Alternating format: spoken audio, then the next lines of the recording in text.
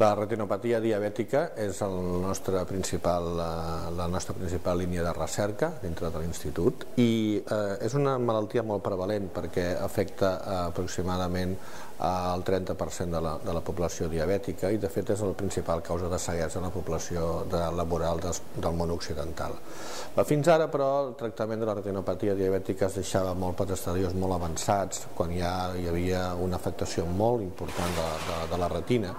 i la nostra idea és eh, començar el tractament molt abans eh, quan eh, el, ha el, no hi ha encara clínica clara eh, i és diguéssim més un, de cara a la prevenció que del tractament en, en fases evolucionades. Per això el que hem desenvolupat és un, un, un primer unes proves de concepte a fi de demostrar que la neurodegeneració està, forma part d'aquests elements inicials de la retinopatia diabètica i després tractar la neurodegeneració amb agents neuroprotectors que el que faran serà evitar o retardar al màxim l'aparició d'aquesta malaltia. Aquests agents neuroprotectors són diferents, tenim la patent de diversos d'ells i han estat suportats també per un projecte europeu eh, de gran envergadura que es diu Eurocondor, eh, que formen part de 17 eh, beneficiaris i nosaltres som els coordinadors d'aquest projecte.